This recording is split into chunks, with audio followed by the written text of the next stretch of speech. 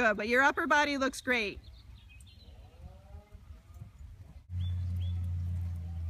Good, bring his nose down even a little bit more.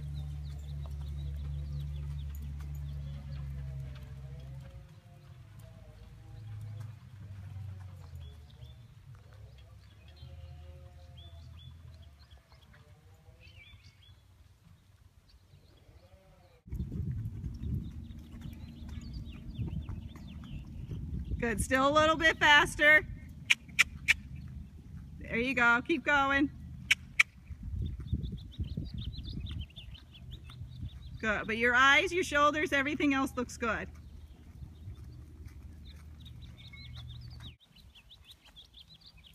He's still got more in him if you can get it out.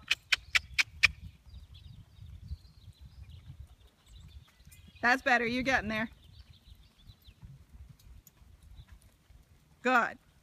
But you'll see it's not much of a difference. It's just kind of a little bit more rhythm in his walk. Right. And he, he's kind of got a, a more of a head shake when he uses himself.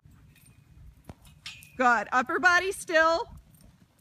Nice. Good. Every time that butt hits the saddle, a little squeeze with your legs, both legs. Hands a little bit higher.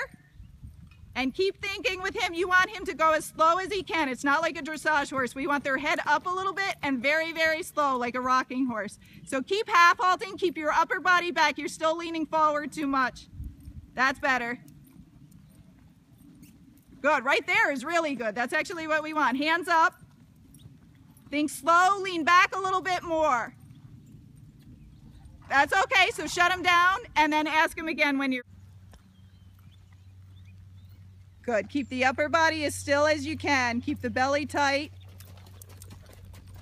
Good. And then go straight, and then we'll canter a circle at this end. That's okay. Come back to a walk and then ask him again, but pull harder to come back to the walk because you let him trot like a whole bunch of steps. So when you're ready, stay slow, and then the hind quarter in, and then ask him. Good. And then you're going to canter circle a little bit more. Nope. So lean back and pull. Pull harder. Yep. Shut them down. Good. So just stay in the circle. Big circle. Big circle. That'll be too small. Slow down. And then when you're ready, ask him to canter again. Once he gets the canter, go to both legs to keep him going. Yep. So just look up. He's just confused. And then ask him when you're ready, but ask him from a walk.